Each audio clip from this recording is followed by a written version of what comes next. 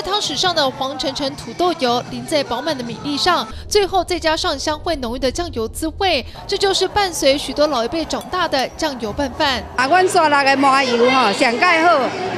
煮麻油鸡，啊煮哦这诶三杯鸡，啊那土豆油哈，胃歹的人哈，食土豆土豆油搅饭就足好食，啊啊囡仔食了过会会长皮。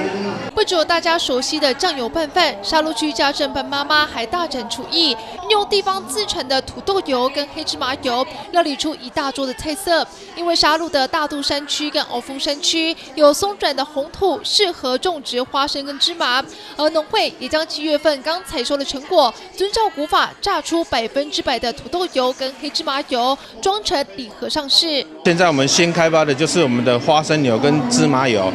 啊，我们希望就是。能够啊带动我们啊高渣味的喝油，啊那土豆油那是纯天然的哦，没有添，现在很注重食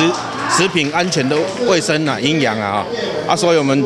就是诶花生油跟芝麻油纯天然的，没有添加任何的添加，都纯天然的就对了。沙鹿气农会哈，它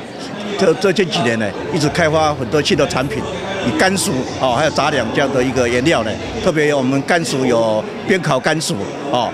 哎有有那个甘薯的代餐包哦，就是早餐用的哦，还有现在开发的花生油，还有芝麻油。这个都是非常营养健康的食品。沙鹿区农会举办土豆油跟黑芝麻油的推广活动，为在地的农特产品做行销，希望透过家政妈妈的好手艺加持，能够在中秋伴手礼市场也开拓出一条商机，提升地方农产的价值。周黄胜炫台中采访报道。